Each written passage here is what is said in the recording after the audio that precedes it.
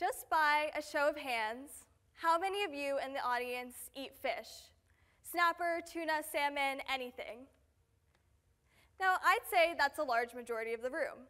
By a show of hands, once again, how many of you have eaten this fish before? I wonder why I don't see any hands this time. I know you might be thinking, why would I ever eat a fish that looks like that when I can eat all the other ones that I previously mentioned? Well, I once believed that too until I learned that by eating lionfish, I was doing my part in protecting the Belize Barrier Reef. A few summers ago, I volunteered with Reef Conservation International on Tom Owens Island in Belize, where I learned about the invasive lionfish species and its devastating impact on local coral reefs. Lionfish are originally native to the Indo-Pacific Ocean, but people brought them to the Atlantic because they thought they looked pretty in their aquarium tanks. However, after releasing them, lionfish became a serious threat to ocean ecosystems in the Caribbean and Atlantic Oceans. So how can this little fish disrupt an entire ocean ecosystem? Well, those spikes that you see on the lionfish are venomous, and not only do they deter humans from eating lionfish, but also the top predators in reef ecosystems. Lionfish consume toxic amounts of fish in their environments, including commercially important species, and lack the predators to keep their population in check, effectively destroying an entire ecosystem's food chain. With overfishing already leaving fish populations vulnerable, lionfish add yet another challenge to reef health while also decimating main local food sources for many coastal communities. And that's where we come in with a practice called invasivorism, meaning that we become the predators for this invasive species to control their population. This practice is already widely accepted in Belize and many other islands, but with mainstream marketing, we can introduce lionfish into our diets. In doing so, we have the ability to restore local fishing industries, provide coastal communities with a new food source, and revert the balance of reef ecosystems. Instead of continuing to overfish species that are already vulnerable into extinction, we can turn to lionfish. Once you remove the venomous spikes, lionfish become a delicious white fish that is comparable to a variety of others that we already eat. And in many cases, it's also a healthier alternative. But if you're still not convinced, it may help to know that when I was volunteering, a group of 16 teenagers were tasked with cleaning and removing the spear spikes from the lionfish.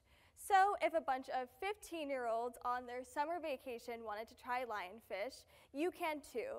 And together we can turn it into the next craze in the seafood industry. When we do this, we can support ocean ecosystems while also supporting our own food security, economic growth, and health. My experience in Belize showed me that environmentalism can intersect and even align with core human issues.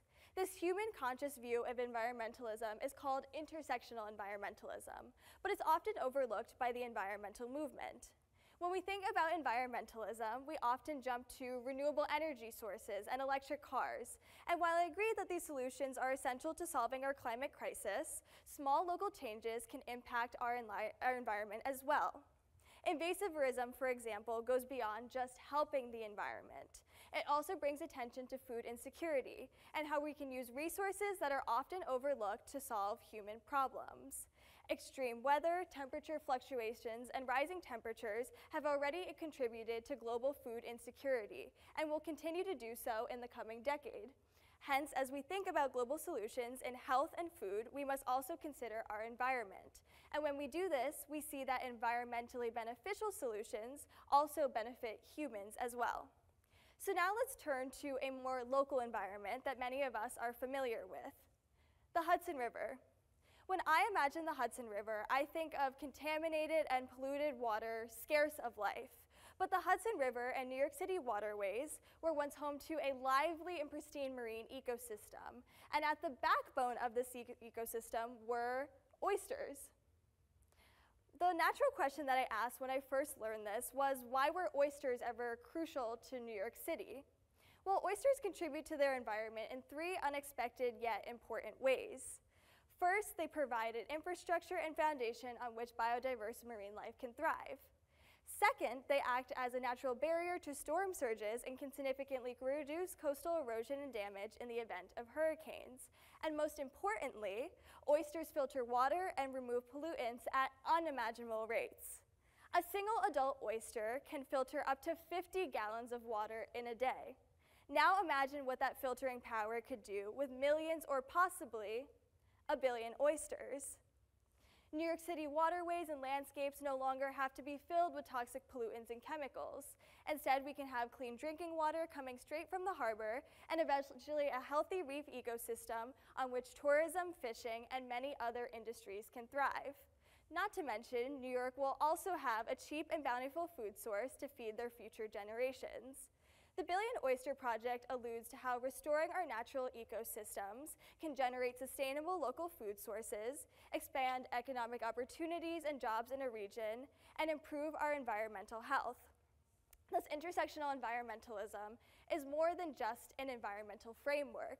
It's a tool that can be used to reshape our communities and our environments on a larger scale. All action starts locally, and thinking about environmental issues is no different. So what do you do if you're like me and you don't live near the Caribbean or near a city harbor? Well, invasivorism and intersectional environmentalism can be applied to wherever you live. I recently learned that in New Jersey, we have two invasive species, one called purple loosestrife and the other called garlic mustard, which are both tasty herbs that can also be used to solve a variety of common illnesses and infections. Hence, intersectional environmentalism and the benefits that we receive from it can be applied to our daily lives regardless of where we live and what we do. Intersectional environmentalism shows us how our environment is heavily intersected with our daily lives and human well-being. However, more often than not, we don't think of this when we think about the environmental movement as a whole. A study conducted by Yale in 2021 showed that while 71% of adult Americans believe that climate change will greatly impact plants and animals, only 47% of those same Americans believe that it will impact them personally. The study shows that in many ways, our approach to environmentalism is what inhibits us from engaging more people in the environmental movement as a whole. There are three mistakes that we make in our approach to environmentalism, and the first is that we often think in extremes. We only hear about raging forest fires and irreversible, irreversible, rising sea levels instead of how our local communities are being impacted by our environment each day. Although it's important to understand the global toll of climate change, it can be easy to feel overwhelmed when our solutions to these complex issues will determine the fate of our futures tackling climate change feels abstract and impossible to take on in addition to all the other challenges that we face day to day. However, it's this mindset that deters us from making environmentally conscious decisions in our lives every single day. I'd be wrong to tell you that your actions could magically restore the Amazon rainforest or prevent the next major hurricane. But what we can do is redirect our attention to our local environments and our individual consumer habits. And this is what brings me to our second mistake in our approach to environmentalism. We often direct the issue of climate change and environmentalism to others, such as the government and energy sector. In fact, The Guardian found that 60% of Americans blame the oil and gas industries as the root cause of climate change. Of course, companies and national governments have a large role to play in promoting environmentalism, but the, extent, the responsibility extends far beyond them. Many of us feel that because our actions are too small and climate change is not in our control, it is therefore not our responsibility. However, with an intersectional approach to environmentalism, we see that this is not the case. Environmentalism consumes our daily lives because we rely on our environment. Our environment contributes to our health, our economic opportunities, and our food security. So we, it's important that we consider how our inter, in, individual actions contribute to our environment as well when we think about environmentalism, both in the short term and the long term. The last issue that we face in regards to promoting environmentalism is the idea of conflicting priorities. For individuals, companies, and even national governments, we tend to overlook our long-term impact on the environment because we're focused on the issues that seem to be in front of us in our day-to-day -day lives. For example, the Pew Research Center found that entering 2022, the public's top priorities for the government were strengthening the nation's economy, reducing healthcare costs, and dealing with the coronavirus pandemic. While 71% of adult Americans said that strengthening the economy was a top public priority, only 42% said the same about climate change. These studies are not necessarily surprising. Of course, we're going to direct our attention to the issues that are most pressing in the short term, such as maybe the economy or the coronavirus pandemic, instead of long-term issues such as climate change and environmentalism. When we think about environmentalism from the first perspective of extremes, we only hear about climate change and environmentalism in terms of the disasters that occur with it, such as hurricanes and other natural disasters that we encounter. However, it's much harder to see the benefit of our investments in our environment. Occasionally, environmental successes will make headlines, such as when it was announced that pandas were no longer on the endangered species list, but more often than not, this is not the case. It can be discouraging to invest in the environment when our short-term interests seemingly contradict with the long-term interests and goals of the environment. However, with an intersectional approach to environmentalism, we see that because humans are intrinsically dependent on their environment for food security, health, the economy, and so much more, it's also important that we look at these intersections in our daily lives. So what are some ways that we, could, we can escape this issue? The first way is through the economy. As consumers, we have the ability to influence the demand for products and can adopt an intersectional environmentalist perspective in our purchases. Our current economy operates linearly, meaning that we take natural resources, make them into goods from which we profit and live, and eventually dispose of them as waste. However, in a circular economy, the items that we produce are either consumed or reimagined into new reusable products. So simply, other than rather looking to get rid of everything that we own and replace it with new items, we can look to goods that have been made from recycled materials and use the items that we already own to make new products in the future. One area where this is really overlooked is the idea of food waste. Food waste fills our landfills and releases detrimental amounts of greenhouse gases such as carbon dioxide and methane.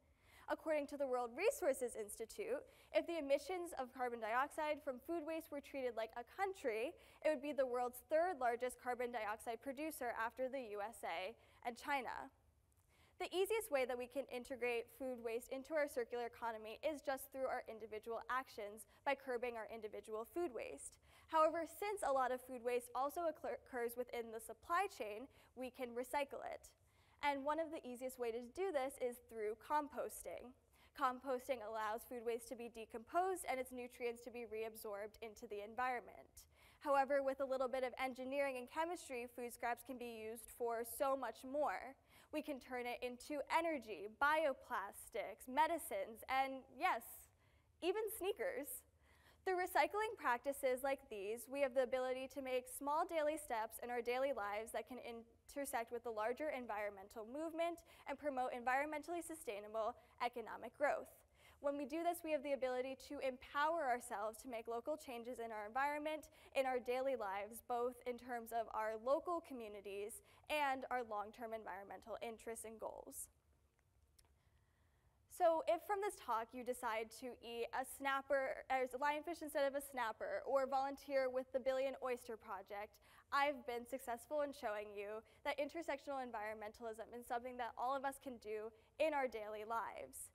As consumers and citizens, we have power over our local environments and can make changes that may seem insignificant to the global climate movement, but can be significant to our own lives whether you start composting in your backyard or kickstart a major environmental campaign in your neighborhood, every action that you take to help the environment not only protects the planet, but it also protects our own futures.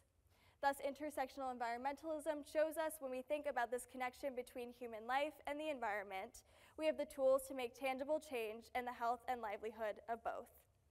Thank you.